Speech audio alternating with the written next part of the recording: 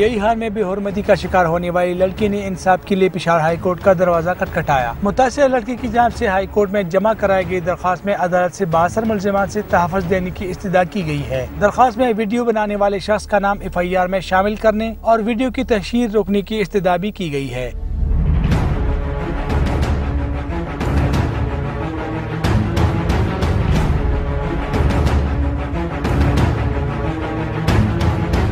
درخواست گزار کی بائی کا کہنا ہے کہ پولیس انہیں تحفظ فراہم نہیں کر رہی۔ ان کی جانوں کو باثر افراد سے خطرہ ہے۔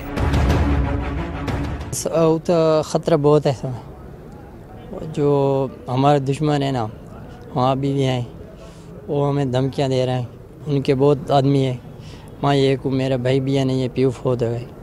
اس لیے میں خطرہ بہت ہے متاثرہ لڑکی کی جانب سے دائر درخواست کی سماعت کے موقع پر قاضی انور ایڈوکیٹ پیش ہوئے، جنہوں نے موقع اختیار کیا کہ ان کی موکلہ یتیم ہے اور انہیں تحفظ فراہم کیا جائے۔ درخواست گزار کی وکیل کی جانب سے واقعی کی ویڈیو بنانے والے شخص کی گرفتاری کے لیے بھی درخواست کی گئی۔ بتا دیے کہ جس آدمی نے ویڈیو بنائی تھی، اس کو پولیس نے ملزم نہیں بنایا۔ وہ ایف آئی آر میں نہیں، اس کا نام رحمت اللہ ہے۔ تو میں نے کہہ دیا کہ رحمت اللہ سے ویڈیو کو برامت کریں، وہ ویڈیو بہت خطرناک ہے۔